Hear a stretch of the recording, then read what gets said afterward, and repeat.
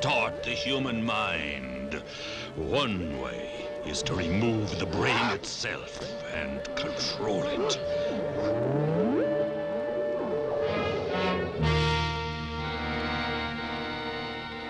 It's a fiendish spectacle of shocking surgery as new life is given to a man already dead, a creature created in an operation of horror.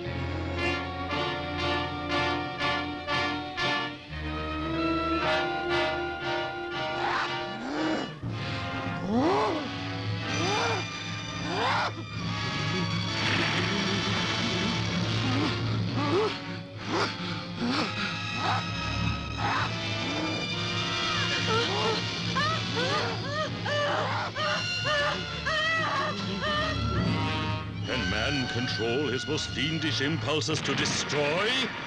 See, brain of blood for the shocking answer. His body returned to its grave, but the brain was gone, living on in a madman's skull.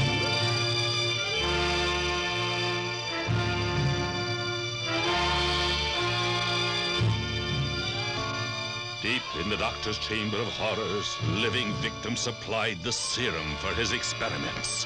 So fantastic and unbelievable that you'll have to watch every moment of brain of blood to see for yourself.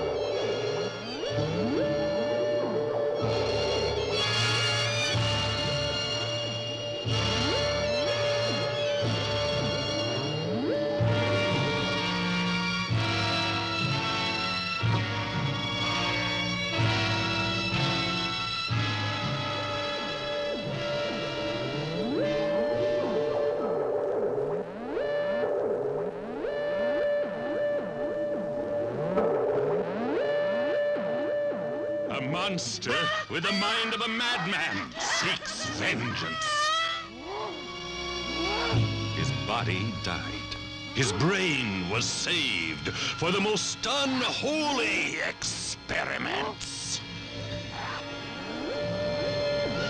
The brain of a dead man lives in a creature of horror.